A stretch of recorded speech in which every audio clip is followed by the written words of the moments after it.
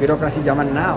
Pak Presiden perintah di atas panggung ke saya, saya langsung WA CEO Transjakarta. Transjakarta langsung berkoordinasi dengan pihak vendor. Kita ingin mudah-mudahan bisa sesuai dengan ketentuan menghadirkan bis listrik ini pas Asian Games sebagai showcase dulu di beberapa segmen daripada rute tersebut dan ini memenuhi permintaan Presiden.